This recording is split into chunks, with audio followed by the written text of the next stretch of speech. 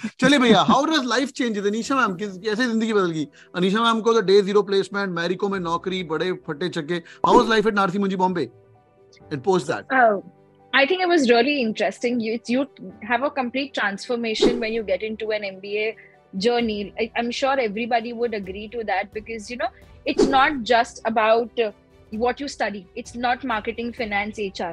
It's you study how to make use of all of them together then you learn to deal with teams. Everything is group and people management skills. You learn how to go and put yourself out there and win case study competitions which is at series of levels. Like you know we used to joke that we used to have nmims mein juhu jagriti hall ki pehle wahan pahunchna hai. That's the goal because that used to be campus finalist rounds. Then you have regional finals then you have international levels. So you know you kind of uh, literally you learn to push yourselves beyond your limits on a day-to-day basis.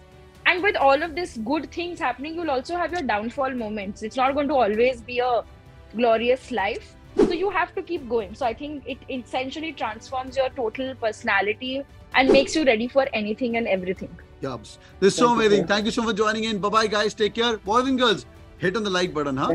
Comment karna i'm going to read your comments in the night aur main reply bhi karunga